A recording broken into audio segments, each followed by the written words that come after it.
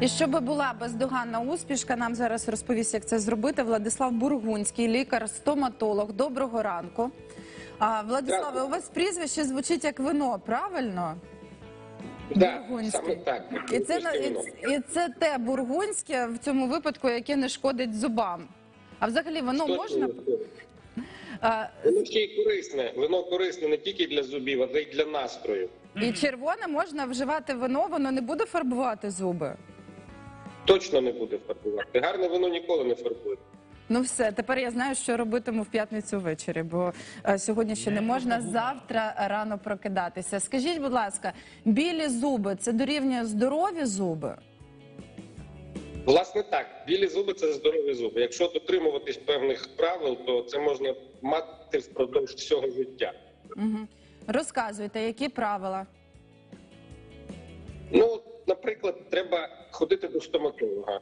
О, Я думаю, що всі знають, що це треба робити двічі на рік. Тобто термін між відвідуваннями десь 6 місяців.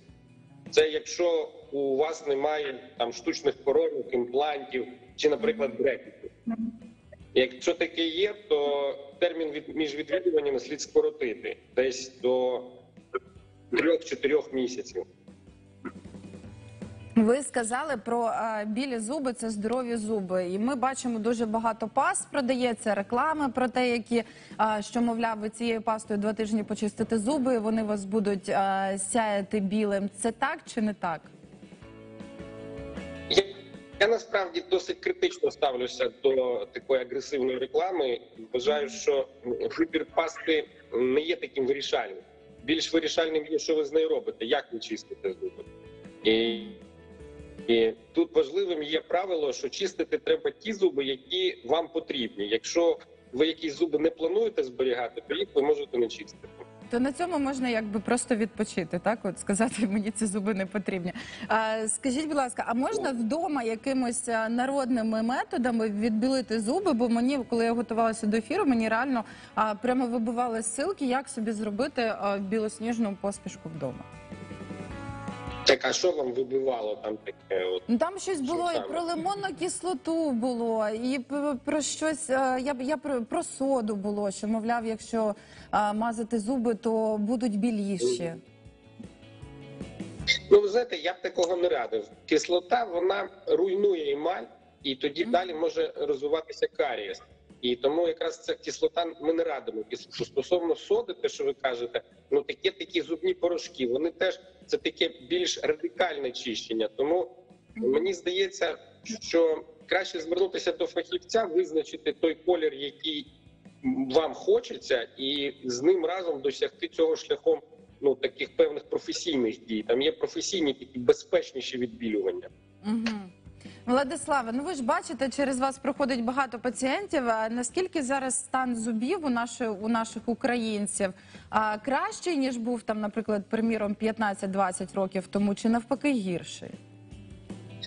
Ну як на мене, він кращий, але робити це дуже багато.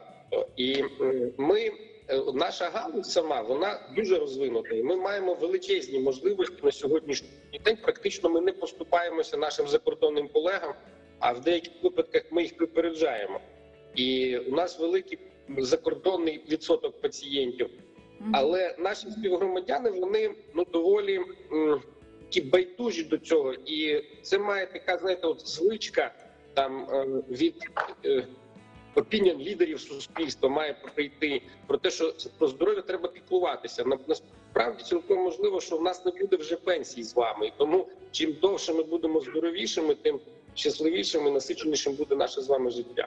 Ну, серед лідерів думок зараз дуже популярні вініри поставити.